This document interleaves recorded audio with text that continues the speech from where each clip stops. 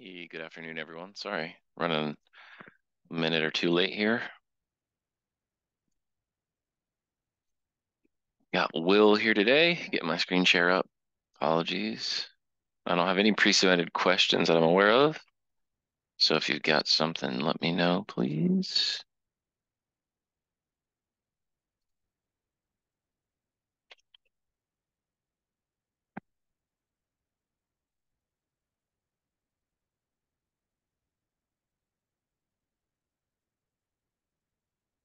And Sabrina, I'm correct that we don't have any pre-submitted questions, right? Correct. Okay, thank you for confirming. All right, so if you have any questions, let me know. As always, you can use raise hand, ask in the chat, or ask in QA. Um, whichever is most convenient for you. I have a question concerning account groups migrations. That is James. Yeah, go ahead, James. What you got? So um, we just stood up our first dev environment and, and repo, and, but we haven't really done any migration. So I'm curious as to how that works. If Okay. your project includes groups, like you're, you know, looking for certain groups in a project to, Mhm. for whatever reason, how do those get migrated? Because I noticed when I've uh, imported and exported, the groups and accounts, of course, don't get Yeah. exported. So Mhm. how does that work with repo? Well, you the group and the group association are different things for us. So you can have one group, you can have the same group be exported to different environments. So you don't like, but the accounts don't get exported for us. And Okay. account group associations don't Mhm, get exported. But if the Okay. ID of the account associate to group the account to group association is the same, um, like if the group ID is the same, then you can keep those things and you can keep the same group consistent across all environments. Okay, so so the if you created a group in say your dev environment, it will get migrated and placed into your next higher up environment.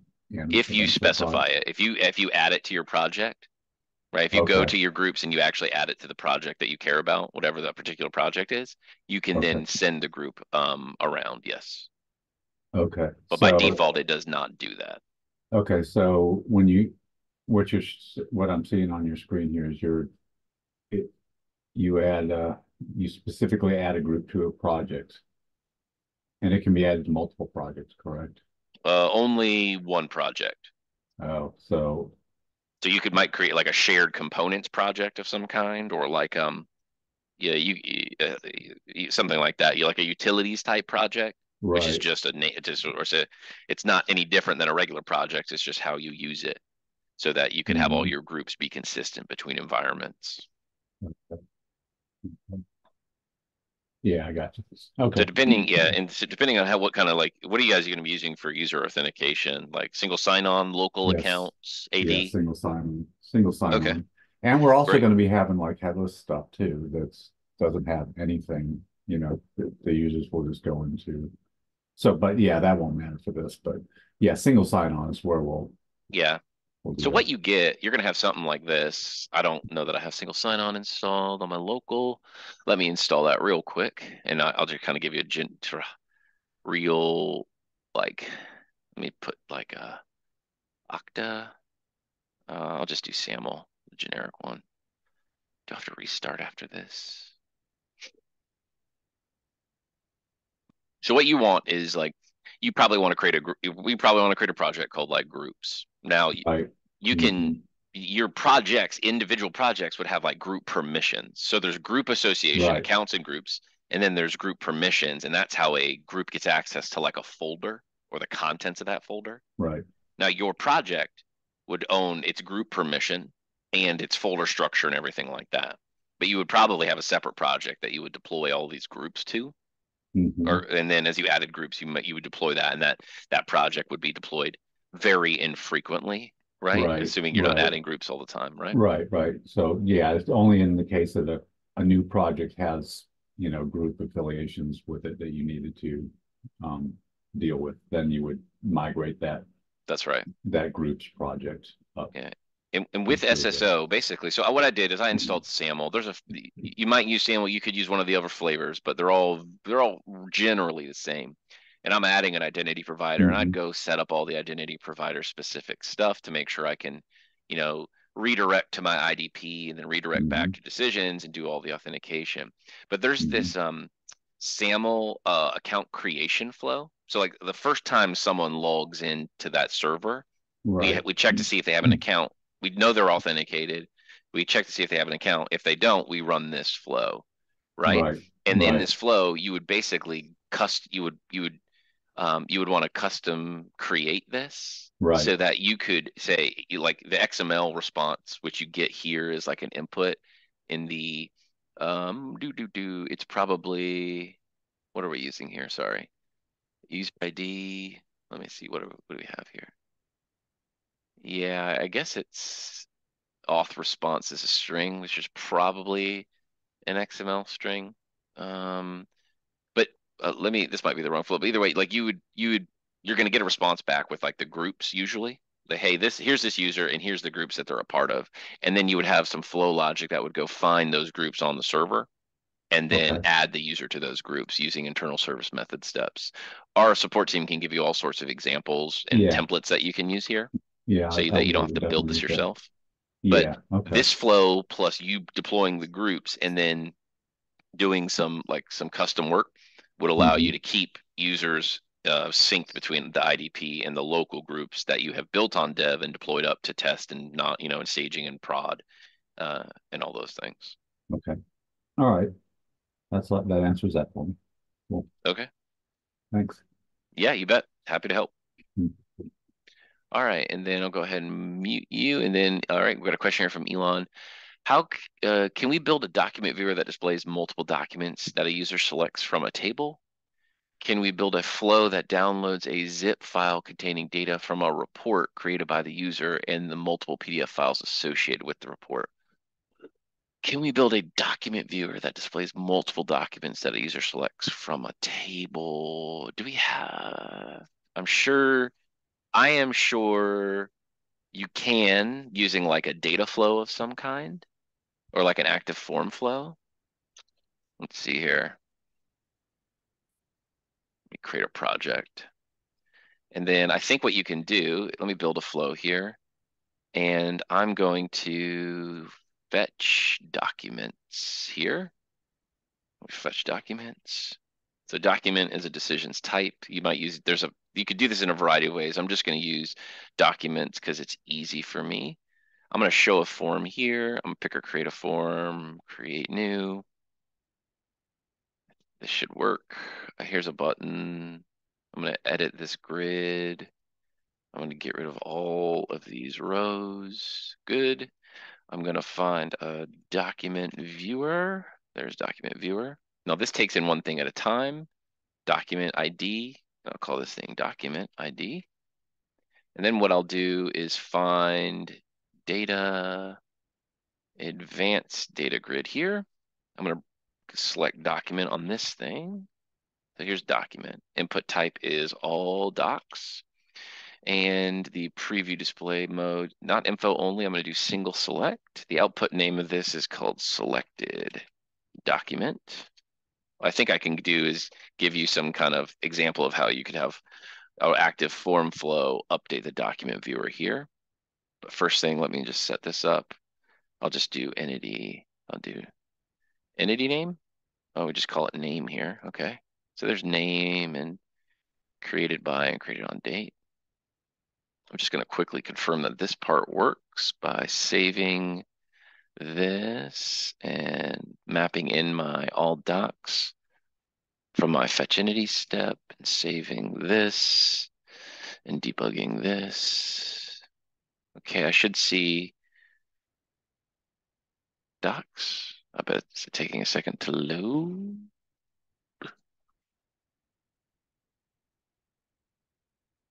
All right. That wasn't an ideal amount of performance, but there you go. There's some documents in the database. There's some documents. Now, what I'm going to come do here is see if I can't use an create an active form flow here. Give it a garbage name. And what I want to do is use set value. So I'm going to find form rules and I'm going to use set control value. And what I want to do is select the form data document viewer. That'll show me the value, which is its input. And what I want is form data, advanced data grid, selected document, document ID. That should let me think. I'm going to save this. And then I don't want to run on startup is blocking. Okay. And then refresh. I want to refresh this thing. The trigger, it'll run on selection change on advanced data grid. Let's see if this works or not. I feel like I'm missing something. Let's see.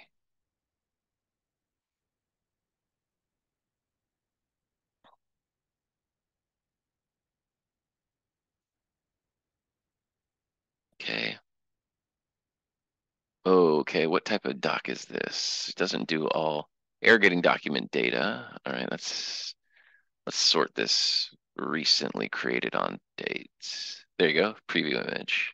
So here's me kind of having created a gallery-like control of documents. It's only going to show me things that it can. You can see it's trying to download these other files as well that it can't render. So it can render, you know, PDFs and PNGs and other things. It can't show DLLs and things of that nature. So I'll pause here. Does this help answer the first question? Uh, the document that allows you to select multiple? Okay, so my question is with this, like with PDFs and so on, can it display at the same time the multiple documents? You maybe if you combine them together, or maybe you could look at a gallery control. We have a gallery control. I think it's quite last time I looked at it, it was it's image gallery. You might be able to look at using an image gallery. Oh, sorry. That that was kind of stupid. Um, let's see here. Let me add another column. So we can actually look at this thing a little bit. You might be able to render output type. Yeah, you could probably use a file gallery here. This takes in a list and lets you view all of them. So you might explore this image gallery control to be able to look at a, a selection of PDFs. Like here, if I do this and I do document, I'll say uh, gallery docs or something. Yeah, this is probably gonna, I'm gonna filter this down so it doesn't show me everything. And I'm gonna say name, our document file name contains preview. Just to try to give me just some PNGs and not like a bunch of like code compile stuff. If I run that, still lots of preview images. Does it show me anything here? Doesn't. Let's see what's wrong with that. I didn't map anything in, that would be why. So let's try that again. Let's run my very slow loading form.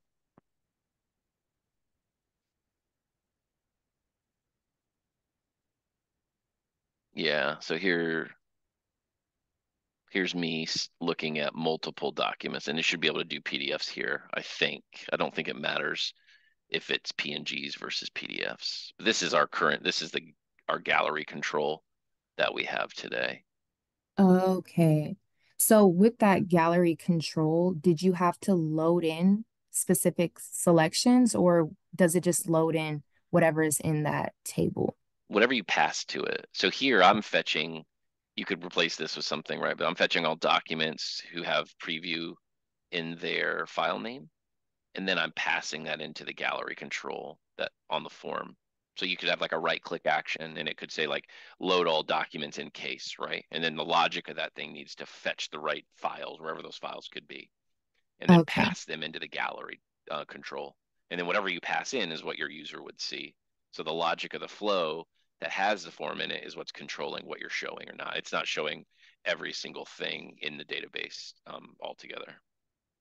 Okay, got you.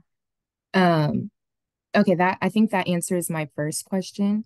Mm-hmm. Okay, and great. then yeah, and then moving on to the second question, um, just to give you some background, um, the user is building out a report based on criteria that they set with the form So from that new report created, can we build a flow that downloads a zip file containing that report in one file and then the associated uh PDF files in the report?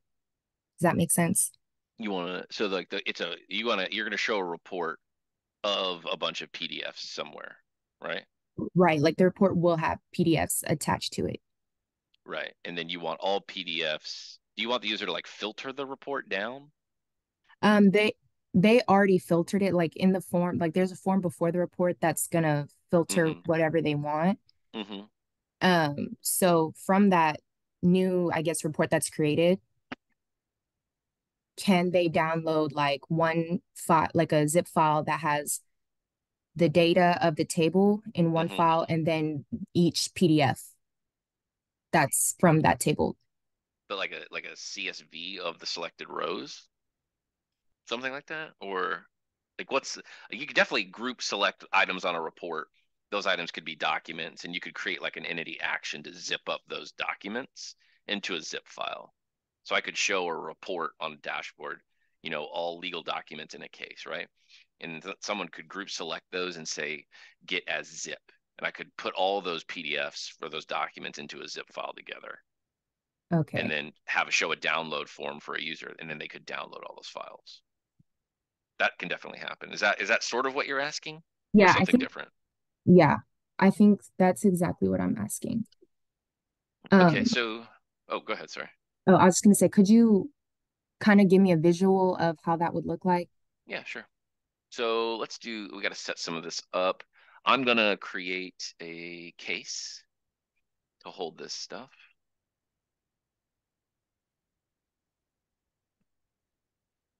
And I'm just gonna give it a nonsense property.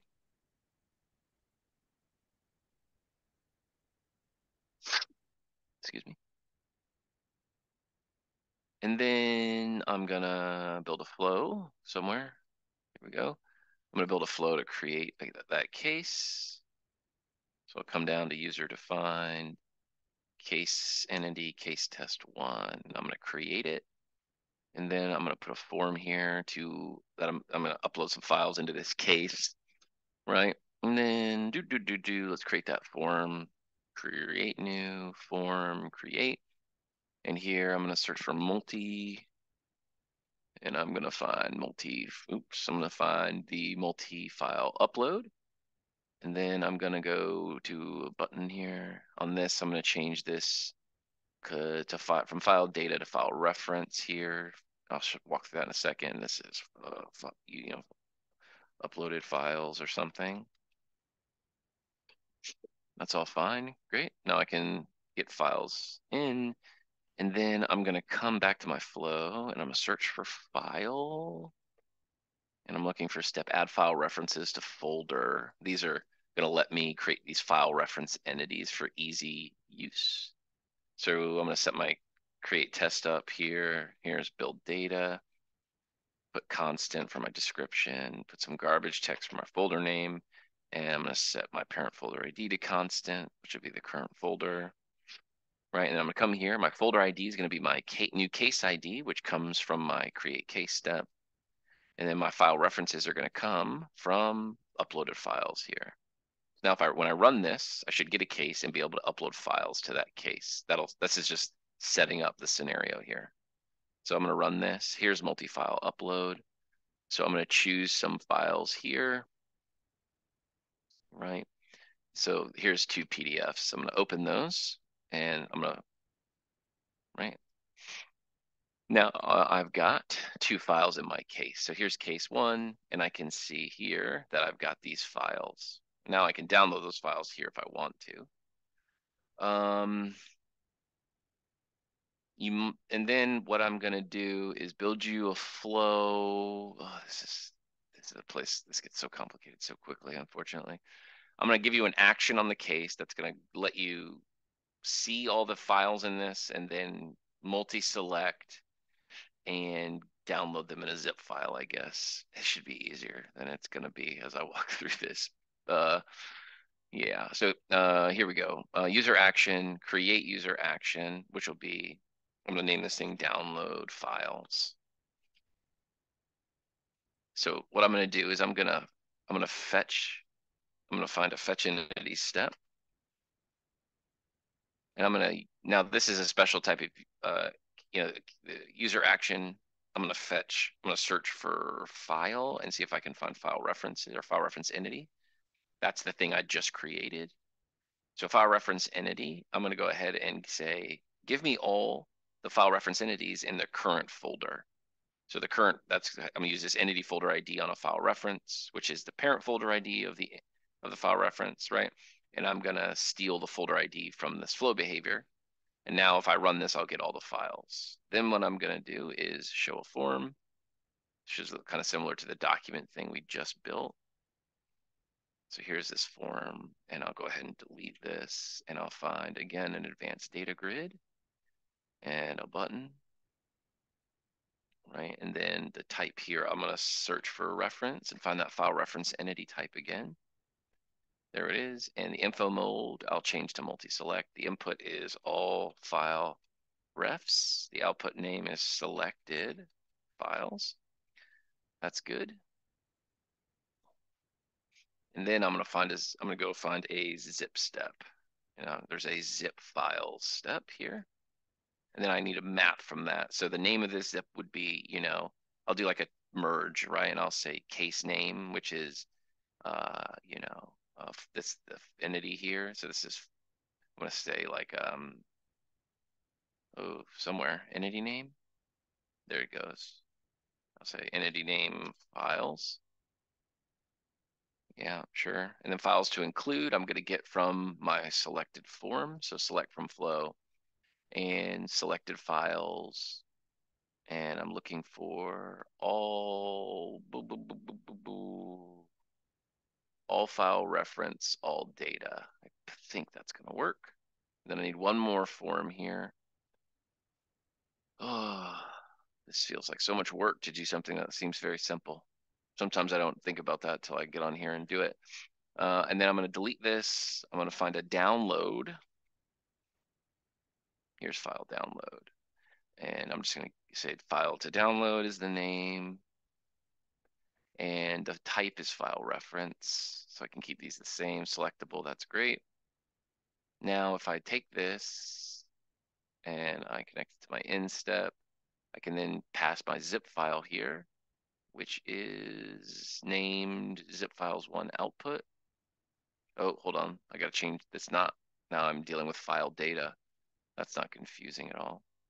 Sorry for my stream of consciousness here. This I'm just kind of recognizing in the moment that this is kind of uh, could be a little easier um, than it is as I map all these things together. So then I need to pass my files into my form, which is my fetch entity step. And and these are all on we're gonna all on YouTube, so you you can watch these at a more reasonable pace than um Okay. That, than that was me gonna be burning through this super fast for you. Um, but now you see if I right click this case, I have this action called download files, right? Mhm. Um, but it didn't fetch what I wanted. So this is kind of what I want. Like I want to click in here.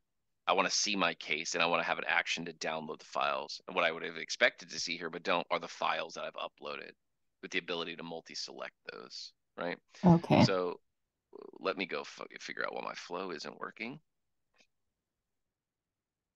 Mhm.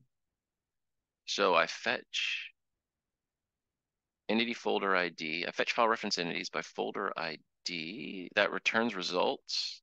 I pass in any results, but none of those show because I didn't set up my advanced data grid, of course. And I can't select if I don't have that.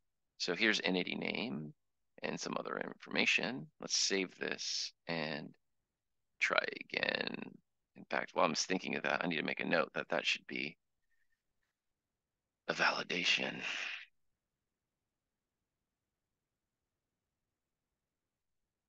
Empty advanced data grid reports should throw a validation error in the.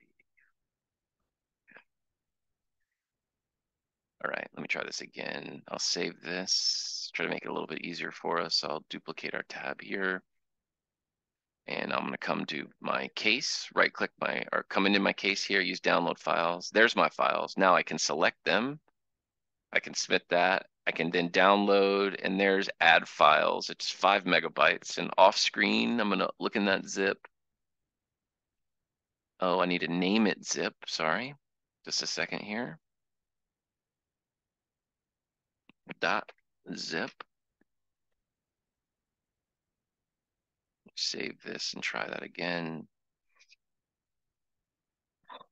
Download files, select all, submit download. There's that download. I see my flow and I see my two files inside of it.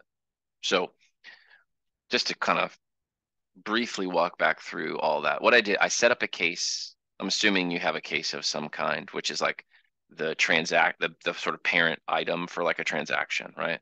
Like it's a loan or it's a legal review or whatever. Yeah. And then I contrived a flow to submit documents into that case, right? And that's what flow two was. I created the case, I uploaded documents, and I use this add file references to folder step. These creates these things called file reference entities. The nice thing about these is they take a file and they allow you to put that file in a particular folder in the portal. So I can open up the, I can make it very easy. I can open the case up and I can see all the files. So all of this is just setup work, right? The important part is I'm using this file reference entity data type in decisions um, uh, uh, to make it easier to see these files. You there's there's a variety of file types in our tool, so this is optional, but just a, I think a very once you sort of grasp this concept, it's pretty it's very easy to use.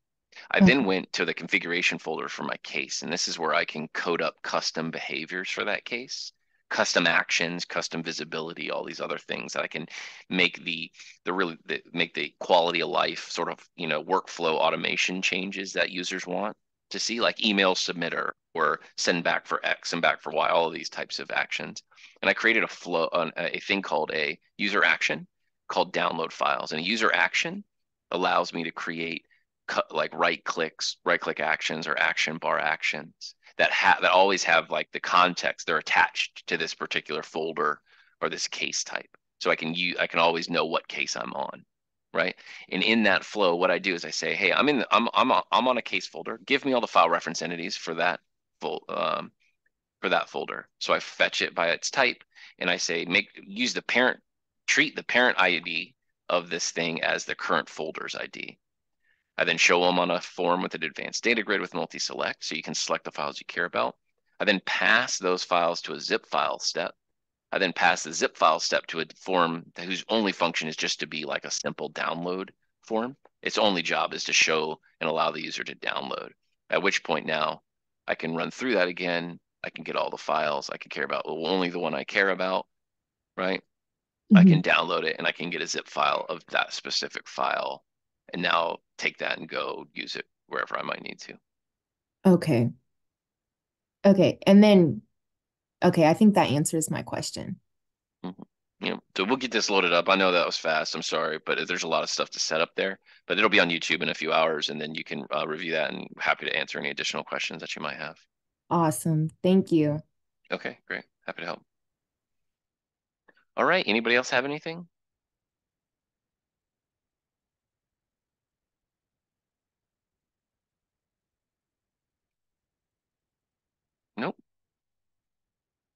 We just got a question from Jane. Oh, sorry. Is there a download step to bypass the form? Oh, yeah, yeah, you can. You can use a form. It won't make any sense necessarily, but there's a step in our toolbox called uh, end-form session. And you can kind of use a trick here. If I search for end, there's an end-form session step. And then what I can do is I can use the navigate or open URL action, and I can get the download URL for a file. And if I use this step with a, a valid URL, um, I can get the file to automatically download if the user's browser um, allows that to happen. There's some cons constraints there for like security settings on different uh, on on the browsers, the you know, on web browsers. Right. But yeah, you can use this step to contrive an automatic download instead of needing Right. that second form. Right, okay, okay, so you could like just, yeah, just create it where it would say, when you're done picking them, it could just say like download in, it will automatically download it for you Yeah. without having to go to another form to select it again. Yeah, correct. That's right. You can you can you you can you can do that for sure. And this Okay. step is how you would do it. Yeah. Yeah, I thought, I thought it would, I wanted to make sure. Thanks. It's just not clear that this step can be used to do that. Um, but yeah, it absolutely can. Okay, cool. All right, anything else from anybody?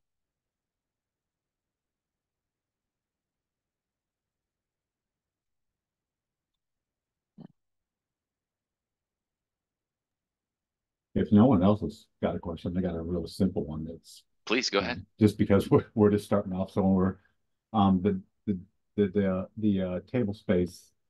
Or the, the data sets, when you create them and you got the, the namespaces. Yeah, Are those namespaces, do they have to be tied back to the parent folder, or can they No. just be arbitrarily named so that you can group them that way, or? you, I you mean, probably, you should override the name almost always because what Right. you get is some ugly, really long string Exactly. if you don't. That's why I Problem was is you asking. can't, yeah, you problem is you can't change it after creation. Yeah, I noticed that, I noticed But that. So we here, gotta this be is where it intentional comes with that. from, right? So you, Mhm. you, yes, it makes more sense, especially if you think about looking at this in SQL. Like to Mhm. have all of your Mhm. type names have like the same starting prefix or, you know, Mhm. project name, so you can see them all grouped together like in the object viewer in SQL. Mhm. You Right. should always override them.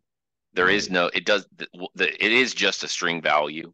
Okay, Um, that was my yeah. question, just to make sure that there wasn't any tie back to the folder that I might, you know, miss or whatever. If, Yeah, not at especially if. I'm doing case entities and anything like that. All right. Yeah. It's better, it's best to try to have these match the, the project name in some way, just for Right, right, ease of, or like maintainability, you know, right. use. All right, great, thanks. Yeah, you bet. The, the, the problem is once they're set, you can't change it. Yeah. Like that's, did uh, that's a, that. not, that's Yeah. not something we support today. Right, okay.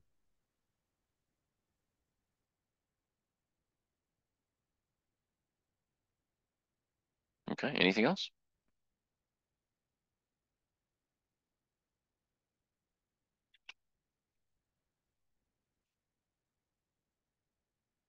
All right, wonderful. Thanks for all the questions, everybody. I will talk to you next time I host. Have a great day. See ya.